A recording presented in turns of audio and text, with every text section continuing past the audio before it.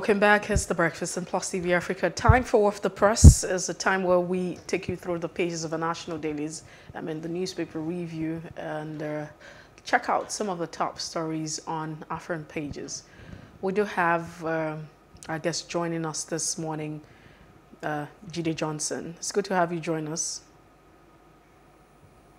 Good morning, Mercy, and good morning, Justin. Good morning, JJ. Friday. Okay. Well, we'll take a look at the leadership newspaper this morning on Friday, and as always, our focus would be on the top captioned. On the leadership, the APC convention consensus deal shaky. 24 hours after President Muhammadu Buhari's meeting with aspirants, and that's the bold caption for uh, the leadership this morning. Al Makura Mustafa invokes section 82, subsection 3, section 84, subsection 9 of the Electoral Act stipulating written consent of all aspirant to seal consensus. I find this very interesting because uh, yesterday when we were talking, uh, you know, with one of our analysts, we talked about the issue of having uh, people to agree if you're talking about the consensus, because the, for the APC, uh, they're saying, oh yes, uh, the APC is taking, you know, they're opting uh, towards what you know the consensus candidate mm -hmm. for uh, you know the candidate that the president had actually put out yes. so they would go for the option of consensus candidate but we understand what this part of the section talks about and so now it is what we're talking about is there an agreement at the end of this so you have those who don't feel very comfortable with this uh, looking at the electoral act that stipulates a written consent of all aspirants to seal the consensus and section 82 subsection 3 section 84 subsection 9 of the electoral act stipulates that that. A lot's going to go on. That's what some people are, uh, you know, are putting out there. President Muhammad Buhari hosts APC founding fathers and lobby lawmakers once again squabbles. These are the riders underneath the bold caption. Again, we have zoning tradition in PDP. Ayu is quoted to say, uh, zoning tradition in PDP, Obi, that's Peter Obi, joins presidential race under the People's Democratic Party. Fuel crisis, distributors, IPMAN resolved to end tanker drivers' strike. And that's uh, uh, also another one uh, amidst the issue of fuel scarcity and all of the hiccups that we're facing at the time. It's time for drastic action to save Nigeria. Uh, former governor of Lagos State, Asiwaju Bola Ahmed Tinubu, is quoted to say, I can't I can clear federal government's $97 billion debt in 12 months. Uh, Sam Zuga is quoted on that one. Uh, let's see how he does that. I'm sure that, you know, it would be an idea that a lot of people will embrace. But this is some of the headlines uh, that we can take on the leadership. Away from the leadership, uh, was later next to the Daily Trust uh, newspaper this morning. The lead caption there, North-South in epic battle over presidential ticket. Wike fueling agitation for Southern presidency will reach out to other aspirants, Saraki Tambuwal Mohammed. Ayu urges aspirants to accept zoning committee's decision, open contest, best option. Those are the writers underneath that caption there. Other stories are just below the masthead. I'm not aware of consensus president should campaign for his candidate. That's according to the governor of Ekiti State, Fayemi.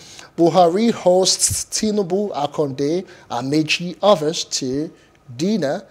Also on the Daily Trust newspaper, a fresh controversy of a new Lagos airport terminal Nigerian army commences selection process for short service. We are confused by court's orders on Ebonyi governor's defection uh, that's attributed to INEC. And just below the pictorial there, how troops destroyed 49 illegal refineries in Delta State. Those are all the stories you can find on the front page of the Daily Trust newspaper. Away from the Daily Trust, we take a quick look at the Punch newspaper and APC convention. Buhari battles last minute crisis. Summons governors, chairmanship aspirants fail to agree. I take that again. Buhari battles last minute crisis, summoned governors and chairmanship aspirants failed to agree. Uh, just uh, how many more days before that election? It's on the 26th. Uh, okay, so today's the 25th, so you have just a day to go. Let's see how it pans out for the APC. Tinubu, ex-governor Akande meets president and Villa over Omisore's choice as secretary. Ruling party bars political appointees from Saturday's national convention. This what's dominating the papers this morning. And just before we move away, 12,977 children among 207,977 tuberculosis cases recorded in 2021. This is according to the federal government. Yesterday uh, was World Tuber uh, Tuberculosis Day. Really, really sad. I mean, if you look at the, you know, the statistics, the children, about 12,977. Yeah. Uh, one would not think that, you know, uh, children would be prone to this. This IG distributes 257, uh, 253 trucks, APC, other vehicles, uniform, uh, to formations. IG distributes 253 trucks, APC, other vehicles and uniform for formation. That's what you find. And Fashola reinstates second Niger Bridge 2022 completion date, blames IPOB. Okay? And uh, just before we move away, suspected quarters invited gang member to rape 22-year-old lover. That's what the police is saying right here. A very, very sad story this morning. And capital importation suffers 300, uh, uh, I beg your pardon, capital importation suffers 30% decline, records $6.7 billion, and CDS Silver orders vow to crush oil thieves lament crushing uh, revenue. Anyim Tambuwal Bauchi governor picks presidential form, consult uh, on consensus. IOC's fear collapse as I federal government says 1.36 trillion naira crude stolen in 14 months. These are the headlines on the Punch newspaper this morning. And finally, we reviewed the Nation newspaper convention, uh, why we chose consensus option by APC, that's the lead story on the nation, party to abide by electoral act, president solicits unity among party stakeholders. Above the masthead, Ibrahim ordered to publish court records against AMCON MD. Reps section 84 subsection 12 remains part of Electoral Act. Uh, Reps is saying that Section 84, subsection 12 remains part of Electoral Act. Race for PDP ticket. Saraki, Tambuwal, Mohammed meet Atiku, Anyim, others on likely consensus. Obi joins race, more aspirants pick nomination forms. All right, let's see if there are more stories we can take uh, just before we bring uh, Johnson on. Uh, $3.27 billion crude oil stolen in 14 months, uh, still on the Nation newspaper. And uh, on the red strip on the bottom of the page, uh, over 9.7 million pupils at risk. Obiano regained freedom, passport seized. Those are all the stories you can find on the front page of the Nation newspaper this Friday morning. Well, we do have Jide Johnson on standby who joins the conversation. Uh, once again, good morning and thank you for joining us. We appreciate you. It's a pleasure to be with you and good morning to our viewers all over the world. All right. So um, let's leave it open to you without asking you which of, uh, I mean, asking you specifics, but which of the headlines interest you as we went through the pages well, of the national dailies? Well, let, us start with um, the APC National Convention, which is less than 24 hours away. And um, we see the battle for the soul of the party, like we have said over time, that as the 2023 um, nominations primaries are approaching, the stakes are becoming higher, and it might likely become pretty difficult for APC to put this house in order with respect to uh, over postponing its national convention. You could see that uh, there's one of the headlines that said 24 hours after the president met all aspirants, the deal is still shaking and um, arrangement cannot be written. And then the chairman of the, the former chairman of the APC, the chairman of the Nigerian Governors Forum, who happens to be the governor of Ekiti State, said that he's not aware of any consensus arrangement. That the president should should campaign for his for his candidate. We also saw in one of the headlines that the president hosted the founding fathers, invited them to a dinner. But one of the things that I, I, I picked up from the political landscape since 1999 is that when Obasanjo invites you to Aso Rock or he comes to your house to eat dinner with you as the national chairman of, of, of PDP then, your fate is sealed.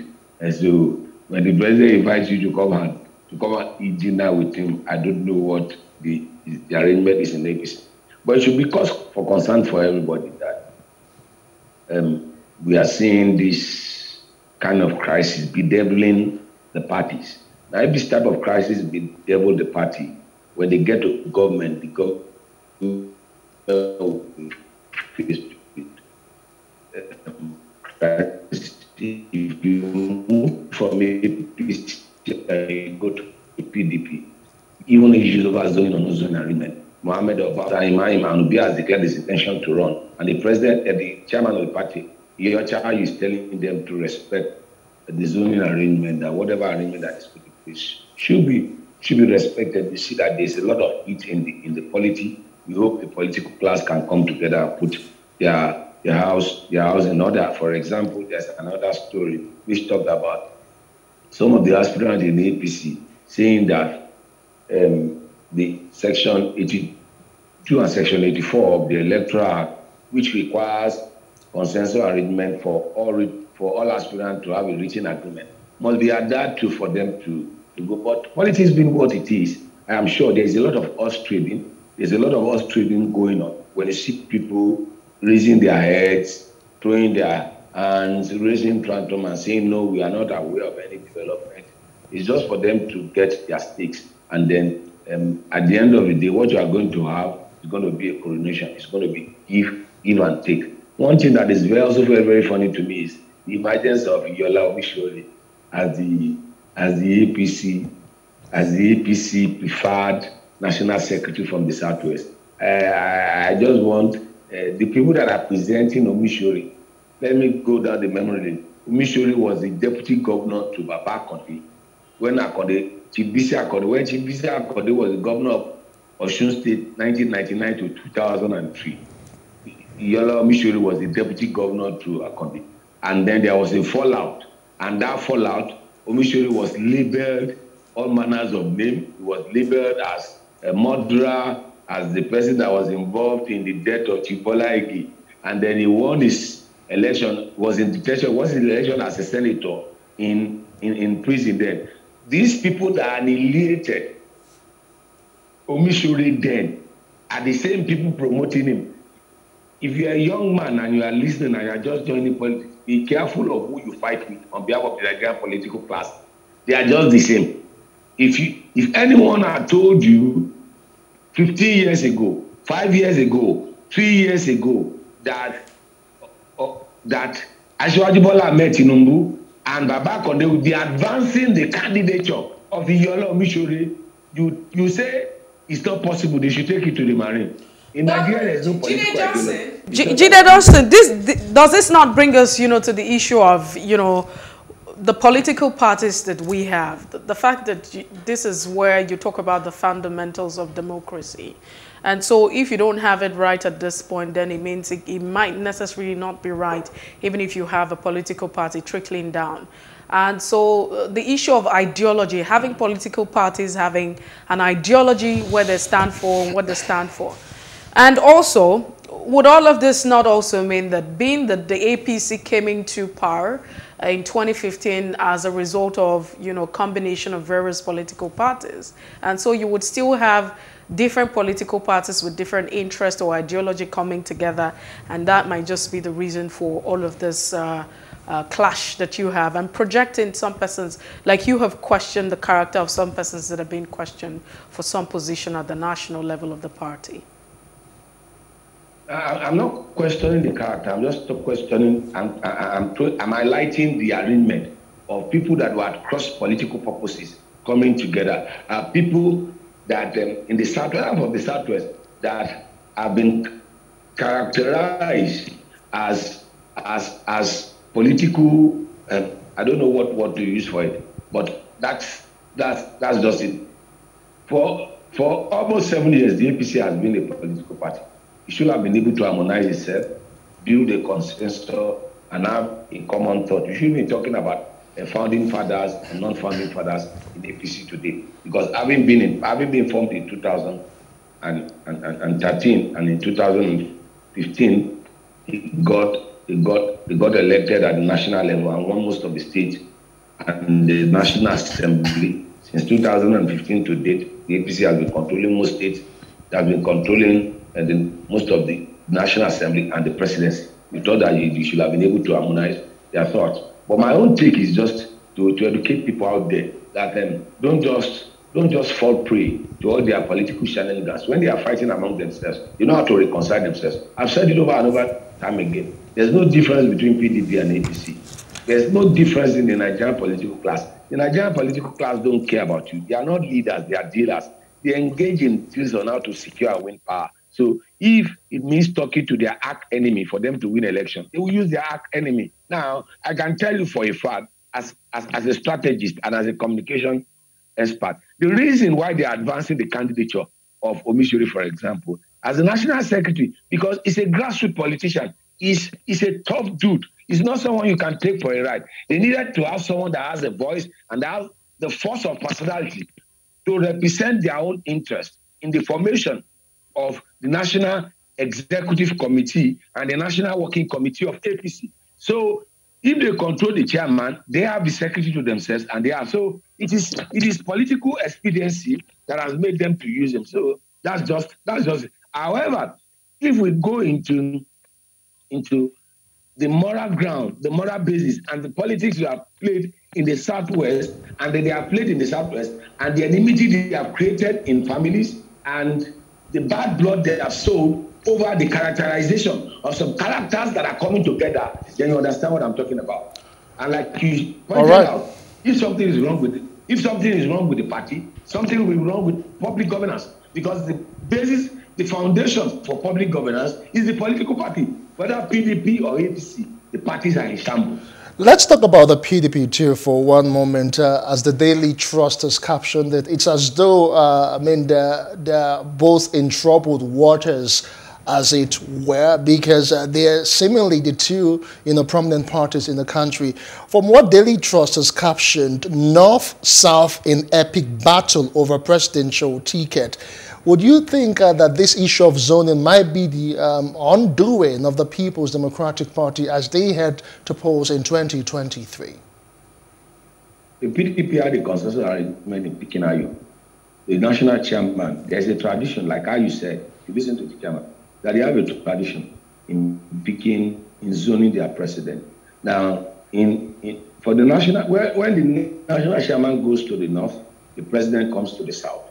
That has been the arrangement of that has been the arrangement of PDP, and that's also the arrangement that APC borrowed from, because there's no difference between PDP and APC. The actors and players today PDP today were the actors and players in in APC in 2014, 2015. Tambuwal, Tambuwal, um, Atiku, Saraki, all picked presidential form of APC. They all picked presidential. All of these actors are now, are now, are now in PDP. So you now tell me what's the difference between the PDP of 2022 and the APC of 2014? A year before the presidential election in 2014, uh, 2015, and a year before. So the that's the arrangement. But as the national chairman, I'm sure you will want the party to be successful in, in the polls, and I want a crisis-free uh, arrangement. But like I've said, there's nothing, there's no difference. The two parties are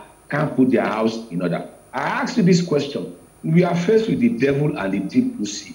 What are the choices before Nigeria? If you look across the coastline of PDP and look across the shoreline of APC, in terms of those aspiring to be president, it is the same set of people that have been part and parcel of public administration in Nigeria. And none of the aspirants has come up with any policy or programs on how to transform this country for good.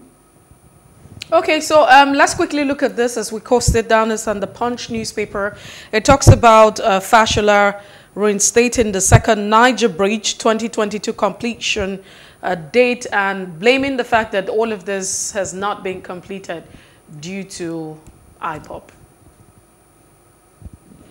Well, um, I remember when Fashola gave um, a speech at um, Tinubu's colloquium when he was still governor, I think uh, a year before the expiration of his tenure. And when he said that um, all the people managing the economy in, in, in Nigeria, then they called them the Batwayers. The Batwayers, and they all clapped and they all laughed. And he has been given opportunity. I'm not sure there's any minister of works that was minister of works for seven years. At the end of the day, the scorecard of Fashola will be brought before the public. And then uh, history will put him in the rightful place belongs to because he used to condemn a lot of actors and players at the national level when he was governor of Lagos State. But from experience and from what you have seen, he has demonstrated that he's, in fact, he's a bad player, actually. He's a bad player himself because uh, he's been giving excuses left, right, left, right, and center with respect to. He talked about power that any serious government that did not provide power for, for six months does not know what he's doing. He was there for Minister of Power for, for, for, for for four years, there was nothing that came out of it. So I don't reckon with uh, with with such with such character. Characters that will come on the that, that, that will use every opportunity to advance a position because they are not in position of power. And when they get to position of power, they start giving excuses. In fact, his own his own tenure um, we evaluate it. Don't let me see anything now so that I'm, I'm a bit biased. We evaluate his tenure at the expiration of it. He's coming back home. When he come back home, I will say to his face, if he is indeed a back or those that were there were at the national level when he was governor of Lagos State, whether they are the bad player or his bad player 2.0. But but how but how did but how did the activities of IPOB or how did IPOB affect the completion of the uh, you know, the second He's giving excuses. He's giving excuses. That's what I'm saying. He's giving excuses. And why, why, why, why should people take the excuses given that the activities? You have the security, you have the security apparatus of nation. The east is heavily, is heavily militarized. It's heavily militarized. You travel to the east, and then he's giving the east. He's, he's, he's saying black dash. All right, uh, let's stay with um, the Punch newspaper. Uh, there's a story just um, above um, the masthead. IOCs fear collapse as federal government says 1.36 trillion naira crude stolen in 14 months. How do you react, uh, Jide Johnson? Well, the probe panel to probe NNPC from the from the from the fifth from the fourth um, assembly to the night we are in now, they probed NNPC. Nothing has come out of the report. Um, you remember the N- N- NDC, CD, um, NNDC's um, um, probe? Honorable Minister dropped the mic. Nothing has come out of the report. Now you are now hearing the report that the stolen crude oil. So what what do I have to say concerning that? You always hear um, different because there are some institutions in the state that are higher than the state, like NNPC, like NDCDC. These institutions, they are institutions that even the National Assembly does not have oversight function. And when they exercise their oversight function on these agencies, these agencies NSPPC is bigger than the federal executive. We have seen so that they are stealing our crude oil. We don't have an account. They've been saying it. We have listened to different types of propaganda. In actual, in actual sense, on the issue of NNPC, we have seen that a former chairman of our appropriation committee in the House of in the, in the House of Rep has gone to jail because of corruption that is tied that is tied that is tied to that. So as far as I'm concerned, we don't have any record. You can that can you can illness. When you begin to look at our oil and gas industry, you can run, you can you can go, you can go, you can go, you can you can, mental illness. And I don't want to be Kulu mentality, like Fela said. And that's just unfortunate. Because we don't have record of how many crude they pump in a day. NNPC does not declare its account publicly. Um, they operate they operate outside the shores of what the auditor general and their they no one has control over NNPC. That's just the truth. And no country operates like that. If, if, if you go to Saudi Arabia, if you go to Saudi Arabia, you see Aramco. Aramco's records are there in the public. Petronas record. Petronas is in Brazil. Is the oil trading company in Brazil. It's in the public domain. And people who operate in Nigeria as if we exist in isolation. As if Nigeria is Robinson Crusoe in the Committee of Nations. Stranded on an island of its own, operate within the within the sphere of its own world, as if there are no there, there are no other countries that that have similar attributes with with us. The other oil producing, you see what we are seeing in Nigeria and Iran, you hear of that in in in in in in in, in, in Russia it is Gazprom. For Russia it is Gazprom. For for Saudi Arabia it is Aramco. For for Brazil it is it is it is Petronas. Do you hear that in Iran? All right. Uh, all right. Thank you so it much. Um, it is the same set of people. It is the same set of people that were there during military regime. Don't forget, the president was Minister of Petroleum in 1977. And today is still the Minister of Petroleum. Why is that? Something to change.